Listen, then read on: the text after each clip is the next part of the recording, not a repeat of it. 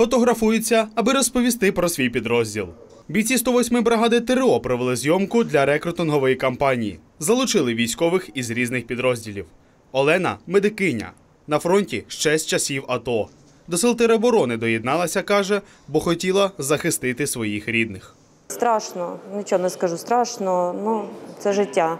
Нам треба ворога якось вибити. Цією фотосесією я хотіла, скажу, побільше йшло в медичні війська, тому що дуже не вистачає цих специфічних ем, військових ну, професій. У фотосесії взяв участь і офіцер медичної служби Іван. До війська розповідає, долучився ще на початку повномасштабного вторгнення. У цивільному житті працював лікарем.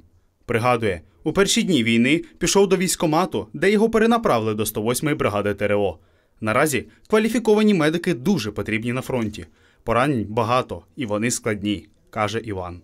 Не можна порівняти гражданку, ну, цивільне е, життя і війну. Ну, тобто ті поранення, які отримують хлопці на війні, ну, з цим майже нереально зіштовхнутися на, е, ну, в цивільному житті саме. Попри ампутацію, продовжує нести службу у бригаді й Віталій. До травми чоловік був піхотинцем, нині офіцер одного з підрозділів. Поранення розповідає, зазнав на бойовому завданні. В автівці підірвався на протитанковій міні. Після року лікування та реабілітації вирішив повернутись до бригади. Каже, своїм прикладом хоче показати, як не втрачати силу духу попри всі обставини. Зараз е, у суспільства не зовсім таке правильне розуміння на рахунок армії. І от для всіх це там якийсь там е, воєнкомат, ВЛК, е, там посадка, все.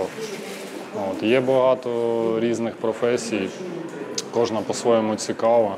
Фотосесію приурочили до запуску рекрутингового центру, розповідає сержант прес-служби 108-ї бригади ТРО Дмитро.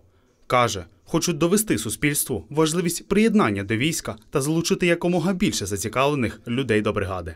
Ми не, е, не примушуємо людей прямо йти в ЗСУ як, в, як ну, каральним чином. Ми пропонуємо інше. Ми пропонуємо цінності нашої ну, роботи, можна сказати, нашого образу життя. І ми переконуємо, що це важливо. Дмитро каже, рекрутинг повинен замінити звичайний призов ДЗСУ, адже кожен бажаючий зможе сам обирати, ким він хоче служити. А це, в свою чергу, підвищить ефективність самої бригади. Наразі в бригаді відкрито 15 вакансій від снайпера до військового капелана. Антон Сіренко, Олексій Коренів, Суспільне новини, Дніпро.